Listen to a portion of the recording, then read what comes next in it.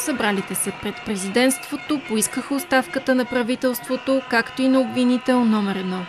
Съвестта ми ме доведе на площада. Не мога да бъда безразличен към откровеното а, откровената несправедливост, която виждам. Мисля, че тези хора са самозабравили. Тук отново искам да подчертая, че не става въпрос за политически разцветки. Мисля, че тук сме просто хора, на които им е писнало да се държат с нас като парцали, защото ние не сме глупави хора. Как защо, бе? Това е бъдещето на тази държава, бе. Няма срамо, че е българче. Ние израснахме в преход. Цял живот. едно добро и Цял се го чакахме, и го Да, чакахме. искаме И баби го чакаха, и те ще е го чакат. Стига сме го чакали, трябва да дойде време. Затова учихме. Всеки, който дойде на власт, да знае, че ни писна да ни крадат. Чашата е прелява много отдавна, то кое не преля?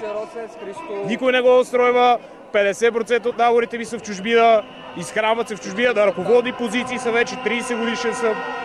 Не трябва да е така. Трябва да сме Ами, тук и да ни е окей. Това е. Ние тук живуркаме.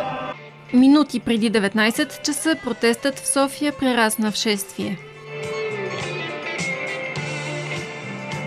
Множеството се отправи по булевард Дундуков към Народното събрание. Там отново ги посрещна плътен кордон от полиция. Значението на моята метла е абсолютно символично.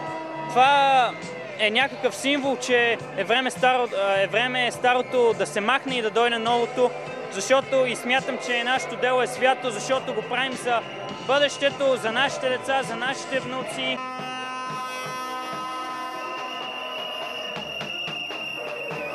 Шествието се отправи към Орлов мост, където спря за кратко.